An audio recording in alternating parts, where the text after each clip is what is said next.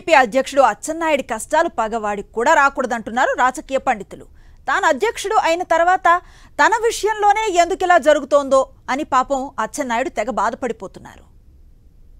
TDP జాతీయ అధ్యక్షుడు Nara Chandrababu Naidu skill development స్కామ్లో మూడు వందల డెబ్బై ఒక్క కోట్లు నమిలేశారన్న అభియోగంపై రాజమండ్రి సెంట్రల్ జైలుకు తరలించిన సంగతి తెలిసిందే. పార్టీ అధ్యక్షుడు అరెస్ట్ అయితే రాష్ట్ర వ్యాప్తంగా విపరీతమైన ఆందోళనలు నిరసనలు ఉంటాయనుకున్నారు టీడీపీ నేతలు. అయితే అటు ప్రజలు ఇటు పార్టీ కార్యకర్తలు కూడా చంద్రబాబు అరెస్టును పట్టించుకోలేదు.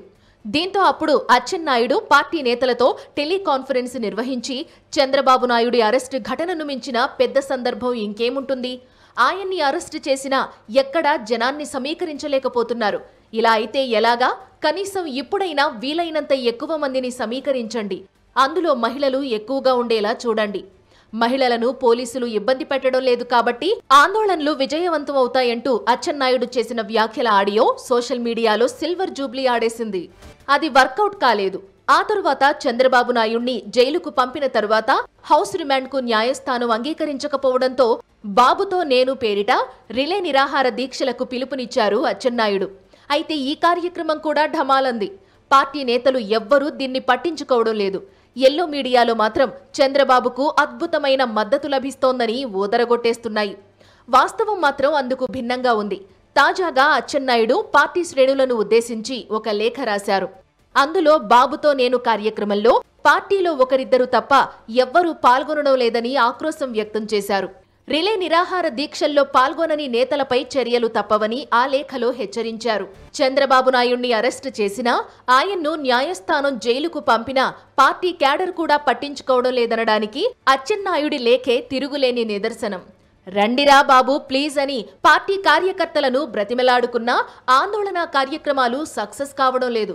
అంతకుముందు నారా లోకేష్ యువగళం యాత్రలోనూ రాయలసీమలో పార్టీ నేతలతో అచ్చెన్నాయుడు టెలికాన్ఫరెన్స్ నిర్వహించారు. లోకేష్ యాత్రకు జనం ఎవరూ రాకపోవడం ఏమాత్రం బాగాలేదన్న అచ్చెన్నాయుడు పెద్ద ఆయన చాలా బాధపడుతున్నారు. మీరంతా దగ్గరుండి జనాన్ని సమీకరించాలని సూచించారు. దానికి ఆ నేత స్పందిస్తూ జనానికి బాగా డబ్బులు ఇస్తున్నాం. చాలా మందిని పురమాయించామని బదులిచ్చారు. అప్పట్లో ఈ ఆడియో క్లిప్పింగ్ కూడా బాగా వైరల్ అయింది. లోకేష్ యాత్రకు కూడా డబ్బులిచ్చి జనాన్ని రప్పించుకోవాల్సిన దుస్థితి నెలకొందని పార్టీ సీనియర్లే ఆందోళన వ్యక్తం చేశారు అప్పట్లో. అసలు తెలుగుదేశం పార్టీ పరిస్థితే బాగాలేదని అచ్చెన్నాయుడు ఎప్పుడో చెప్పారు. తిరుపతి ఉప ఎన్నిక సమయంలో ఓ హోటల్లో అచ్చెన్నాయుడు వేడివేడి ఇడ్లీ కొబ్బరి చట్నీ తింటూ పార్టీ లేదు డాష్ డాష్ లేదు అని పార్టీ పరిస్థితిని కళ్ళకు కట్టిన వీడియో క్లిప్పింగ్ను కోట్లాది మంది చూసి విస్తుపోయారు. అయిపోయింది సార్ పార్టీ అయిపోయింది. మీరేమని అనుకుంటే జీరో అయిపోయింది ఫ్రీ అయితే మనకే ఉంది మన పార్టీ మరి దారుణంగా తయారైపోయింది. ఆయన ఏ ముహూర్తాన ఈ వ్యాఖ్య చేశారో కానీ అది నూటికి నూరు శాతం నిజమని పార్టీ శ్రేణులే చెబుతున్నాయి. పార్టీ జాతీయ అధ్యక్షుడు జైలుకు పోవడంతో పార్టీ పరిస్థితి మరింత దిగజారింది.